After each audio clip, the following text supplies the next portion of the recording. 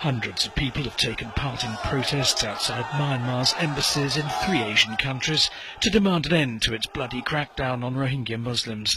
These were the scenes in the Malaysian capital where the foreign ministry says it's summoning Myanmar's ambassador over the escalating violence in Rakhine state. At least 86 people have been killed and around 30,000 displaced. Many of these protesters are Rohingya Muslims themselves.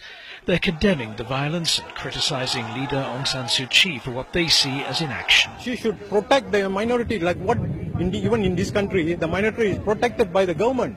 So you see, so she should show an example to the world that she protect the 10% of the Rohingya over there. Protesters outside the Myanmar embassy in the Indonesian capital went further. They want the Nobel panel to cancel Suu Kyi's Peace Prize award. She swept to power last year, promising national reconciliation. There have been similar scenes in Thailand too, as demonstrators descended on the Myanmar embassy in Bangkok. Myanmar's soldiers have poured into the north of Rakhine following attacks by alleged Muslim militants on border posts in October. The government and military have rejected allegations by residents and rights groups that troops have raped and killed civilians and burned down homes.